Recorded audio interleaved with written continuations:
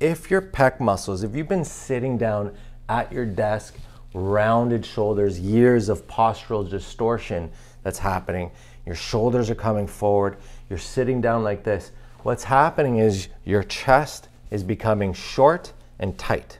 And as it becomes short and tight, it will continue to draw you forward. You'll continually have that roundness in there. No matter how much you fight it back, the front will be continually pulling you forward.